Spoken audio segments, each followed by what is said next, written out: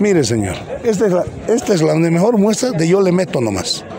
¿Qué me importa? Yo le meto nomás. Esta señora estaba prohibida de hacer excavaciones profundas, porque esta zona no es una zona para hacer ese tipo de cosas. No, y le ha metido pala, ha metido caterpillar y ahí está. Seis viviendas a punto de destruirse, 14 familias afectadas, más de 40 personas en total. Aquí en este país, ¿sabe qué estamos pagando las consecuencias de yo le meto nomás? Yo le meto, no me importa. Y ahí está, hoy llanto, dolor, hay gente que no tiene dónde, dónde ir a vivir.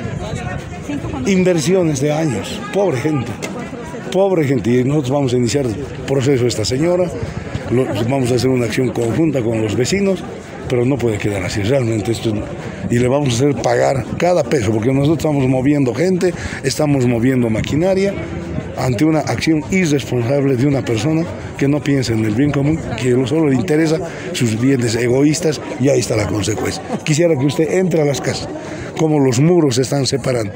Y tengo miedo, vamos a apuntalar ahora toda la noche, tengo miedo que esto jale más viviendas y sea peor el desastre. Por eso aquí está ya trabajando los obreros, están apuntalando, van a apuntalar toda la noche y vamos a meter maquinaria para tratar de hacer ahí un muro de contención. ¿Las personas damnificadas qué hacer?